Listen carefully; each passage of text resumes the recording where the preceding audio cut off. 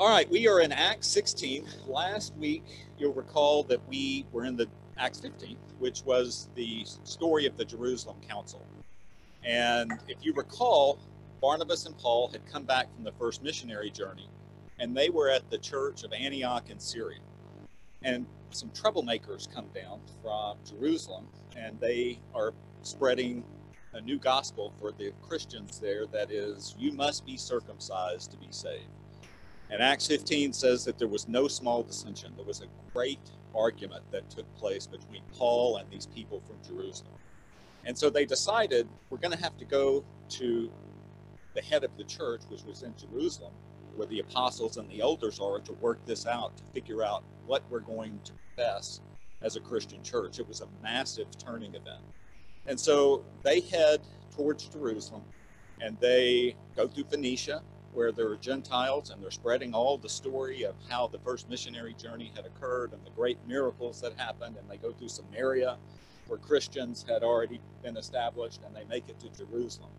And they have, with the apostles and the elders, this classic Jewish debate where one side gets up and presents a case, and the other side gets up and presents their case. And so, after they had feverishly argued over this issue, Peter stands up and says, Brothers, you know that it was by God's choice long ago that I take the message of the Lord and Savior to the Gentiles. And what he was referring to was back uh, in previous studies where he had gone to Cornelius in Caesarea Maritima and had witnessed, and his whole household had been saved. And so Peter says, So that happened. And why in the world would you want to put a yoke on these new Christians that neither we nor our forefathers have ever been able to keep? And he said, We believe that there is no distinction between them and us. and you recall in Galatians, no distinction between Greek, Gentile, male, female. He said there's no distinction. And furthermore, we believe that we are saved by faith in the Lord Jesus Christ just like they are. Not that they're saved like us, but we're saved like them. And then Paul and Barnabas get up and they go through all of the stories that took place and they share those with the apostles and the elders. And then the leader of the church, who was James, stands up and he quotes scripture, prophecy from the Old Testament. And it's it's prophecy that says in the end times, the tent of David, the temple is going to be rebuilt, and the remnant of mankind, which is the remnant of the Jews, will be saved and those that are called by my name and, and all the Gentiles that are called by my name who seek the Lord will be saved as well. And he said, So it's in my judgment that based on this, that we shouldn't trouble these people, that we should give them some simple prohibitions. Um, number one, that they shouldn't mess with anything around idols. Number two, they should avoid sexual immorality. Number three, they should stay away from strangled things. And lastly, stay away from blood.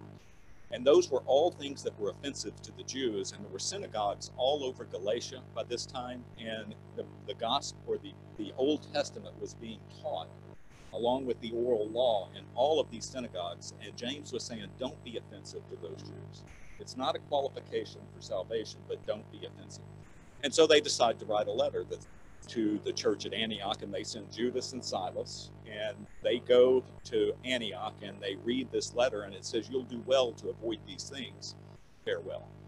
And so it says that the brothers rejoiced, and every man in here knows that if you're told as a man you don't have to be circumcised, that you're going to rejoice. And so they rejoiced because of the letter's encouragement. And so that brings us to today. Um, at, actually, at the end of 15, they kicked off the second missionary journey. And let me just read that. And after some days, Paul said to Barnabas, Let us return and visit the brothers in every city where we proclaim the word of the Lord and see how they are.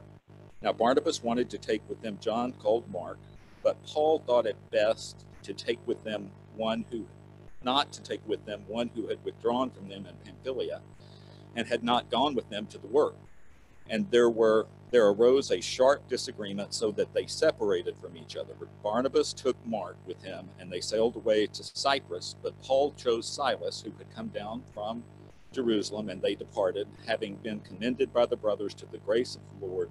And he went through Syria and Cilicia and strengthening the churches. Now, it's been estimated that Paul, in his lifetime, traveled 13,400 miles on these missionary journeys. 13,000. I want you to imagine 13,000. Now, that's, by the way, that's airline miles. That's as the crow flies.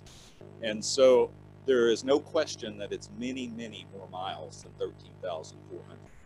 And in these places, you know, I, they they had to stay with Christians. They had, you know, I don't, I doubt they were carrying big backpacks. They weren't on a bus. And so I want you just to imagine what they had gone through. And this this missionary journey is five years later than the first missionary journeys. So there were virtually, if there were churches, the, the churches would have been established after Pentecost. Many people believe that Paul established all these churches. There's there's some debate about that. So there may have been little mini churches meeting in homes back at that time, but he, he would have been staying with Jews or Christians as he went. And so by this time, there's many churches. So if Tammy, do you mind reading?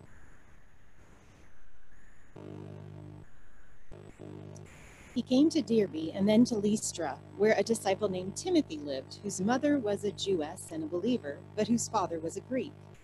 The brothers at Lystra and Iconium spoke well of him. Paul wanted to take him along on the journey, so he circumcised him because of the Jews who lived in the area for they all knew that his father was a Greek. As they traveled from town to town, they delivered the decisions reached by the apostles and elders in Jerusalem for the people to obey. So the churches were strengthened in the faith and grew daily in numbers. Okay, Kim, can you can you go down to the map just a second? And then we'll go back up to the verses. If you look up in the right hand corner of the Mediterranean Sea there, you will see Antioch of Syria. That's where this church is. And you'll see a dotted line going to the island of Cyprus, and that is where Barnabas and John Mark take off to. And then, two, um, this is where Paul heads up into Cilicia, Derbe, Lystra, etc. And so that's where they are right now. I'll, we'll post this map because they're going to go several other cities, and we'll we'll bring it back up three times as we go through the scriptures. So this disciple is here named Timothy, and he is the son of a Jewish woman, and it says, but his father was Greek, almost like his father was not a believer. So this Jewish woman, whose name we learn in First Timothy is named Eunice, and her mother is named Lois, um, they are believers in Jesus Christ, but the father is a Greek, and it would be questioned by the Jews or the Christians exactly what faith he was. And notice that he always um, it's very important to Paul and to Luke about a person's reputation. It says he was well spoken of by the brothers. And so as you go into the qualifications of a deacon or an elder um, in, in Paul's writings, it's very important to him that deacons and elders be people of good repute, that have a good reputation. And that's because of the stumbling block. You don't want somebody, it's not that somebody can't be saved, they can't serve God, but when you go into Christian leadership, you need to have a good reputation. And so he is saying Timothy is of somebody that's well spoken of. And so Timothy now takes the place of John Mark. Timothy now, that Paul evidently was focused on succession planning. He called Timothy my son in the faith in other scriptures. So Timothy is a is a very important person. And he took him and circumcised him. What did the Jews say last week to the church at, at uh, Syria? It says you they said you must be circumcised to be saved and they had no small dissension. And so the first thing paul does is circumcise timothy. Was it to be saved? Is this this again just like avoiding the idols is the law of love. They're going to go in to every single synagogue. They're going to enter first every city, a synagogue first, if they can. If there's 10 Jewish males in a synagogue, they're going to go in and they're going to try to convert these Jews, and then they're going to go to the Gentiles. And so, so as not to cause a stumbling block, so as not to cause a stumbling block, they circumcised him. And so they all know, every all the Jews know that his father was a Greek. And so they head their way through the cities. And the reason they're going through these cities is because Jews had come from Jerusalem in many of these cities and they were Judaizers. They were continuing to profess that you must be circumcised to be saved. You must convert to Judaism as a part of salvation. So when it says they delivered to them for observance the decisions that had been reached by the apostles and the elders, what they're saying is it's by grace alone that you're saved, a belief in Jesus Christ. That's all that's required for salvation. So those were the decisions that were reached. All right, the Macedonian call.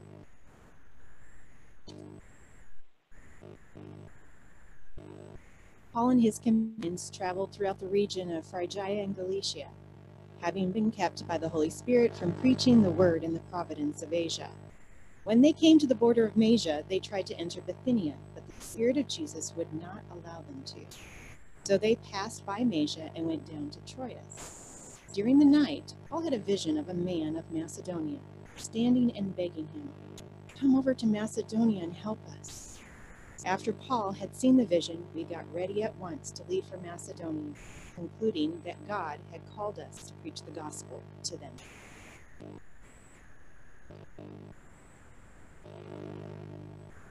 So it's clear here Paul doesn't know God's direction, right?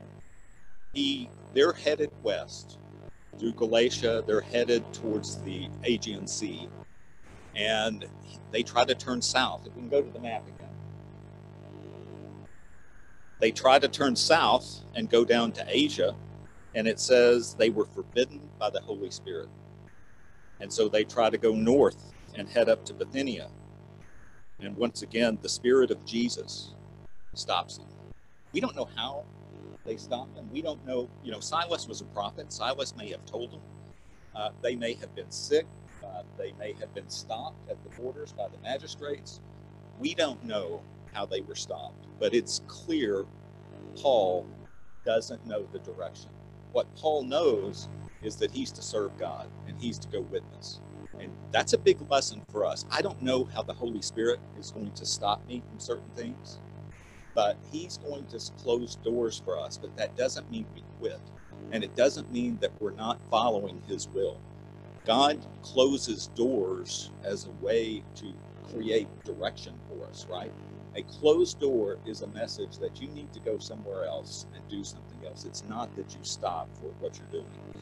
And so it's clear that the Spirit is in control. And even though He's doing it by closing doors, they come to Troas, which is right on the sea, which is a, a seaport. And they're waiting for God's instructions. And magic, magically, spiritually, a, a vision comes to him in the middle of the night and it's clear from this vision that he still doesn't know if that's the direction of the Lord because they have to have a discussion. And, and it says that he con- they concluded. So after they've discussed this vision, they have this Macedonian man. Uh, there, there are there are questions about who this is. Some people say that it was Alexander the Great, the, the Greek Macedonia that created the Hellenist Empire. Uh, I, I tend to doubt that. You know, he had been dead over 300 years before Paul. Paul wouldn't have recognized him. There are people who say it was Luke. Because if you notice, and can you go back to the scriptures, Kim?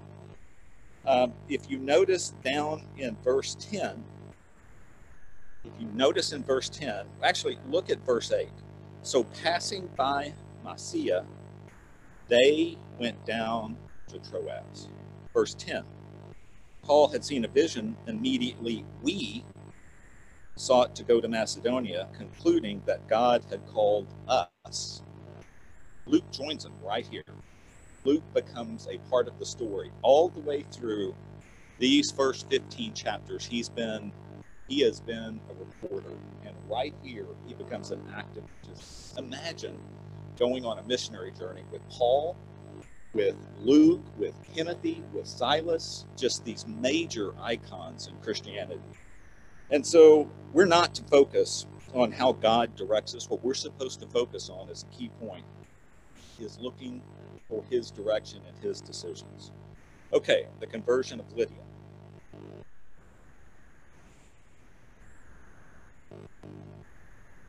From Troas, we put out to sea and sailed straight for Samothrace, and the next day on to Neapolis. From there, we traveled to Philippi, a Roman colony and the leading city of that district of Macedonia, and we stayed there several days. On the Sabbath, we went outside the city gate to the river, where we expected to find a place of prayer. We sat down and began to speak to the women who had gathered there. One of those listening was a woman named Lydia, a dealer of purple cloth from the city of Thyatira, who was a worshiper of God. The Lord opened her heart to respond to Paul's message. When she and the members of her household were baptized, she invited us to her home. If you consider me a believer in the Lord, she said, come and stay at my house. And she persuaded us. So, setting sail from Troas, they the following day make it to Samothrace, and the following day to Neapolis. So that's two days. This is over 125 miles, which means the wind was at their back. Now there'll be another trip where it takes five days for them to cross back over. So the wind is at their back. They know the mission from God. They've been called by some man in a vision to come witness and to bring to bring Christ to Europe. This from Troas, this is a major thing in the church. This is where this is where scripture will churches will begin to form in Europe and not just be concentrated in Asia Minor. So this is a big deal in the church. Um, and they're called to accomplish this major thing on a new continent. And what happens? They can't find a man. They can't find a synagogue they go there's clearly not a synagogue because the first place they always go is to a synagogue and so they go to a prayer place that's beside a river and these women are praying and this is a successful businesswoman. She's a seller of purple purple from thyatira. Thyatira uh, was back over in galatia. Can you go to the map one more time? So that from Troas, they sail over to Thrace and then to Nea, Neapolis, and then you see Philippi there.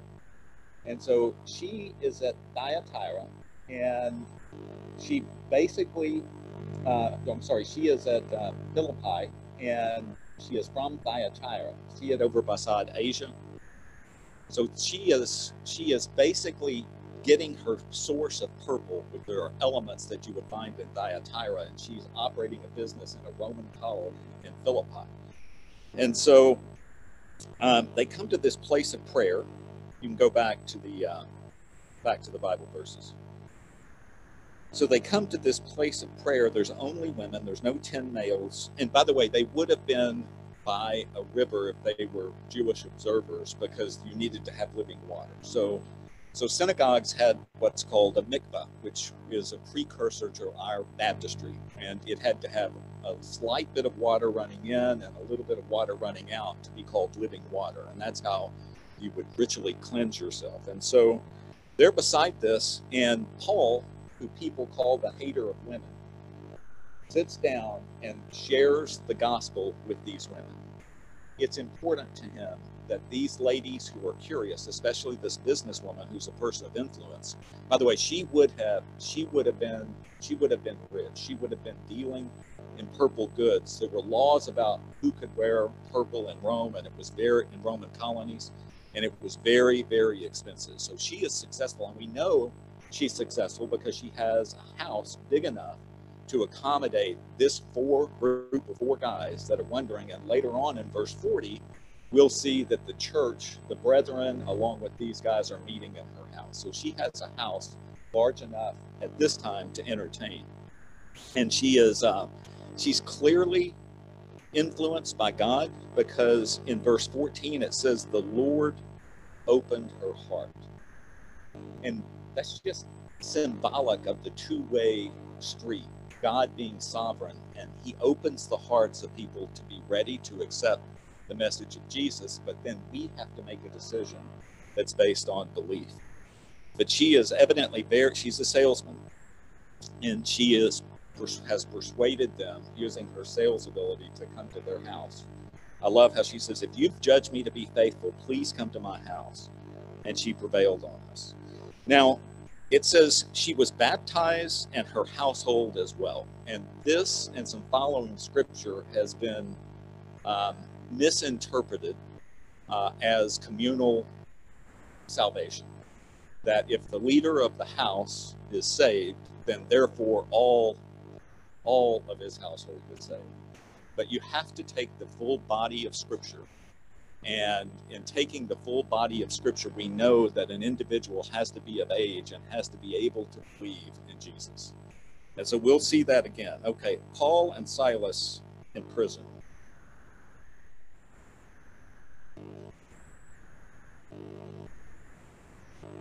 Once, when we were going to the place of prayer, we were met by a slave girl who had a spirit by which she predicted the future. She earned a great deal of money for, for her owners by fortune telling.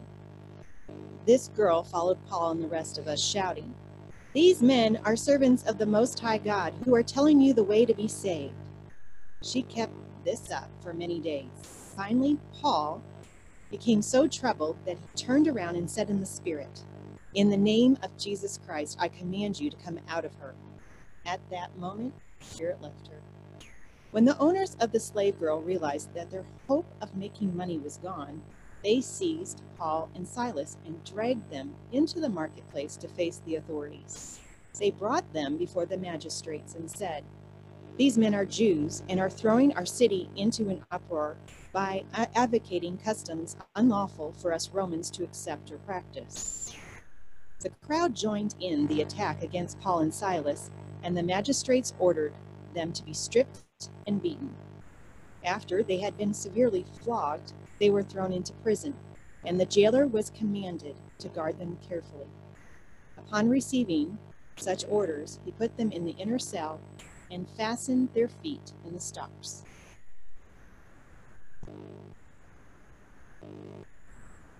This isn't going good for them. How would you feel? You're following the mission of God, and all of a sudden you wind up in stocks in the inner prison. But first, let's talk about this slave girl. She is a double slave. She is a slave of demons, and she is a slave of these owners that are using her to make money. And she's following, and I, I am confused. And I, one of the questions, if I remember it when I get to heaven, I'm going to say, why did this go on for many days? And you know, I, I, I don't know if they just thought, okay, well, even if the even if a possessed person is professing God, that's good advertising. And I, I, you know, maybe they just let it go because it was good advertising and people knew that she had the spirit of divination, divination, and that she could actually profess something. But eventually, it gets to the point it's driving Paul. He's going crazy, and so he becomes greatly annoyed and he commands in the name of Jesus Christ the spirit to come out of her, and it came out right then. And so the owners saw that their hope of gain was gone. They don't care about religion. They don't care. All they care about is our moneymaker. We just lost our moneymaker. That's what they care about. And so they go to the rulers, the praetors, the magistrates. There were two praetors in every province. And so they come to these praetors and they say these people are Jews. Now, it hadn't been much earlier than this that Emperor Claudius had kicked the Jews out of the city of Rome. And it's possible that they had been run out of this city, uh, out of Philippi, which is a Roman colony. Now, Philippi was distinctly Greek, and the Greeks that identified with the Hellenists pushed back on the Romans. They didn't want the Roman culture. And so when Rome, the Romans overtake Philippi, they make this a colony and they infiltrate with soldiers and, and administration. And so they imprint hard the Roman culture. And it's possible that as Claudius had kicked the Jews, the Jewish males out of Rome, that he had kicked them out here as well. And that may be the reason that they only had women there that were believers and there was no synagogue, etc. And so these men are Jews, so he's trying to run them down. And they're disturbing our city. They're advocating customs that are not lawful. They're trying to proselytize us, which is not legal under Roman law. And they're teaching us to do things Romans can't accept or practice. They're worshiping Jesus over the emperor. And so the crowd is in a frenzy. And I'll tell you why I think they're in a frenzy this a little bit later. But they're in a frenzy. There's no trial going on. These people are worked up and they take rods and they inflicted many blows on them. And we'll learn later that these are deep wounds that they create. And so they take him to this jailer, and the jailer has seen this crowd, and they have they have got him worked up that he's a, a Roman prison had three sections. It had an outer section with um, less offenders who could have some air and light, and then they had an intersection intersection uh, or medium section where there were chains involved, but it was still less uh, secure than the inner prison, which was basically a dark dungeon. And these stocks, um, so we learn here that Paul was into stocks, and later we'll learn that he's into bonds.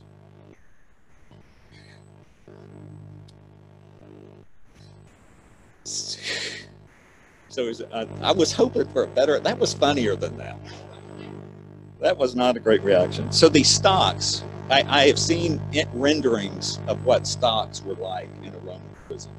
And it was basically this beam. Just imagine, imagine a railroad beam, and it's been cut in half. And it is pinned down to the floor, and there's two holes in it, and there are clamps on it. And so they would have put their feet into these holes. They would have been sitting there, and then their hands would have been chained with chains to the wall. And so they're they are in the deepest, darkest place that they can be. And let's see what happens next. And we'll have Ken do this one.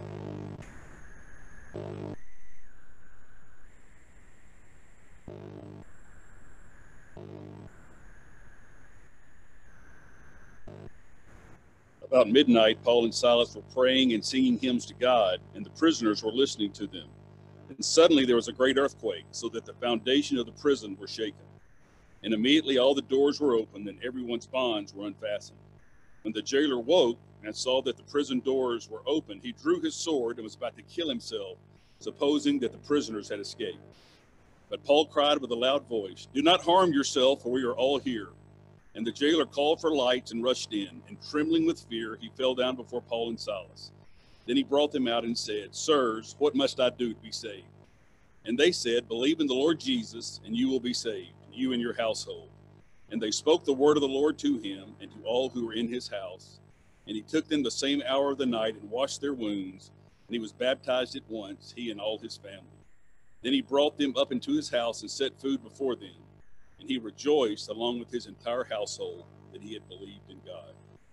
As Russell said, think about that. I mean, they're in the innermost, darkest part of the prison, fastened up in chains and in stocks. What would you and I be doing? But what were Paul and Silas doing? Praying and singing hymns. Now, we don't know where they were singing the old rugged cross or when the roll is called up yonder, but it could have been that they were singing Amazing grace. Y'all join in. How sweet the sound that saved a wretch like me. I once was lost, but now am found. Was blind, but now I see. When we've been there ten thousand years, bright shining as the sun. We've no less days to sing in God's praise than when we first begun. So I asked him to do that for three reasons. Number one, I can't, I would cry. Number two, my voice is not good. And number three, I doubt I would be singing hymns in that in that dungeon. So uh, do you know what an imprecatory prayer is? An imprecatory prayer is what I would have been doing. And that is from the book of Psalm, David saying, Oh God, break their teeth in their mouth. That's what I would have been doing. There wouldn't be amazing grace. It would be calling down people on them. But these prisoners are listening to these guys. That, now, whether whether it's advisable to sing at midnight with these with these violent prisoners in there, I don't know. But these prisoners are listening. And I think as they're praying and singing and probably witnessing to them they have an impact on these people. And this, I have, you know, God is up there. He is, he's tapping his feet to the hymns. Start running. And that creates this earthquake. I, I've just made up the tapping his feet, but it could have been. And so he's tapping his feet, and this earthquake quake happens, and it says that the doors were opened, and notice, in addition to stocks, everyone's bonds were unfastened.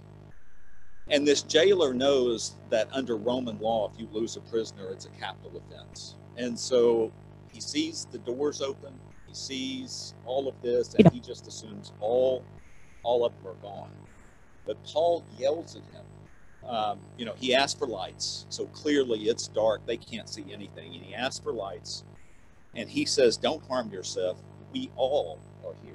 Every one of us are here. These prisoners that have been listening, whose doors are open, whose bonds have been released, are sitting there. They don't leave. Somehow he made an impact on them that they recognized that God was with him. I don't know what they were thinking, but they don't leave.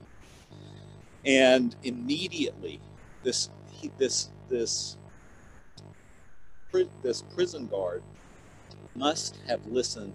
Something must have resonated with him because he says, "What do I have to do to be saved?" And once again, we come to some confusing language. Believe in the Lord Jesus Christ, and you'll be saved, you and your household. Now, there is a lot. There's there's two elements of debate with lines like this. Um, and I reject both of them. The, the first is believe in the Lord Jesus Christ. There are those that say that when it says this, that you can't just believe that he died to wash away sins, that you must believe that he is Lord of your life, that you have a continuing, ongoing relationship with him as Lord of life. I don't believe that's what it is. I believe it's purely a belief in the Messiah. I believe that we're called to make him Lord of our life. And then the second is that the communal salvation, that everyone in your household can be saved. But it says he took him the same hour of the night. Notice, see these wounds. These guys are singing hymns and they, they're wounded from these, these caning and rods and baptized, and he brought them to this house and set food. And so he rejoiced with all the entire household. They had gone into the household and they were witnessing and bringing the message of God. There is no such thing as communal baptism or communal salvation. And so um, let's let's move to the last. May have seen.